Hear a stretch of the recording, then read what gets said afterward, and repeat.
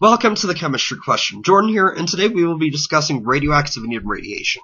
Radioactivity was first noted by Antoine Henri Becquerel, but Pierre and Marie Curie really studied the phenomenon and determined that the radiation emitted was not the result of a chemical change, but rather a change within the atom itself. When the nucleus of an element is unstable, it transforms into another element by emitting particles and or energy to become more stable. While it is impossible to predict exactly when any atom will decay, we can model a probability function of decay which, with a large enough sample, shows when half of the sample will decay. Knowing what radioactivity is, let's now talk about radiation. We'll first divide radiation into two categories, ionizing and non-ionizing radiation. But before we hmm, talk about particle radiation from radioactive decay, let's talk about the electromagnetic spectrum, and the radiation from photons. We begin at the low end of the non-ionizing part of the electromagnetic spectrum, radio waves. Radio waves can send signals and create a small electric current, but they don't do much else. Continuing, we have microwave radiation, which has a little more energy and can thus excite molecules, causing them to heat up. You're probably familiar with this because you may have used a microwave oven to heat up your oh so delicious burrito that you had for lunch. Cell phones also operate on the microwave spectrum, and this is to some controversy related to possible health effects. In fact, I had difficulty finding a good image depicting microwave radiation because I had to sift through images like this, this, and this. I invited the angry cat back to answer the question, is microwave radiation from cell phones going to kill us all? The truth is that the amount of microwave radiation from cell phones produces only a very small effects on the body, and while we don't know the true long-term effects of the area of the body near the phone having a slightly higher temperature, it would be a better use of energy to focus on the way cell phones actually are going to kill us all. As energy increases and wavelengths get shorter, we move to infrared. We cannot see infrared, but we feel it as heat because infrared has enough energy to carry heat. We can, however, build cameras that detect infrared and use them to produce heat maps and see in the dark. Next, we have visible light, comprising everything we see. It is also necessary to provide energy for biochemical processes such as photosynthesis.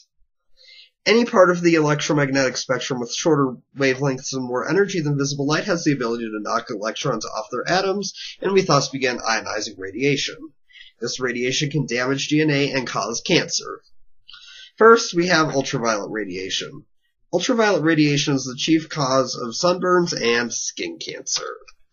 More energetic still is X-ray radiation, which not only ionizes, but it can also penetrate deep into body tissues. While this is incredibly dangerous in high doses, small doses can be extremely beneficial because of the penetrating power, as we can use this to see inside the body and better diagnose medical issues such as broken bones.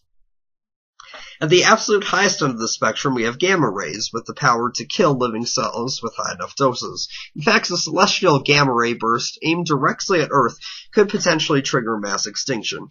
However, small doses have a beneficial use because they can kill cancer cells. We will return to gamma radiation shortly, but, re- but first we will return to radioactive decay. The three types of decay we will address are all examples of ionizing radiation. Going in order of the Greek alphabet, we start with alpha decay. When a nucleus is just too big to be stable, it reduces its size via emission of an alpha particle, also known as a helium nucleus. You may recall from the magic numbers video that helium is incredibly stable, and this is why helium and not hydrogen is released. The helium nucleus fires out from the parent nucleus at close to the speed of light, but quickly slows down and steals two electrons from surrounding atoms to form a helium atom.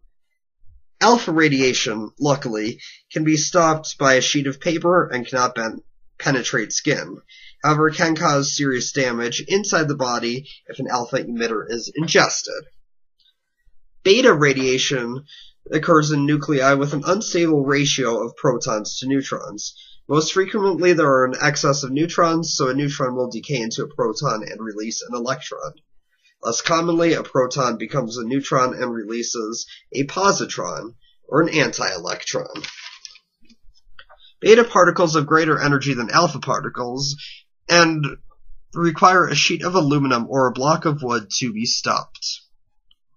However, their energy is far less than the third type of radiation, gamma rays. I mentioned gamma rays earlier as part of the electromagnetic radiation spectrum, and we did not talk about its source.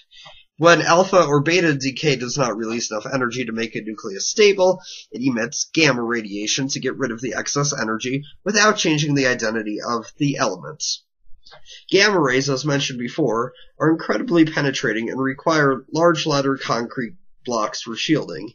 Even this is not perfect, and is best represented by a tenth value thickness.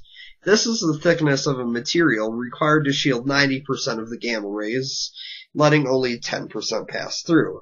The tenth value thickness for lead with gamma rays is around 2 inches.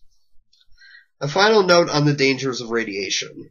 The dose equivalence is measured in sieverts. One sievert represents one joule of energy from radiation absorbed in the body per kilogram of mass. With every sievert absorbed, one's chance of developing cancer is 5.5%, and this increases at a linear rate until one hits 100%. This effect is cumulative over a lifetime.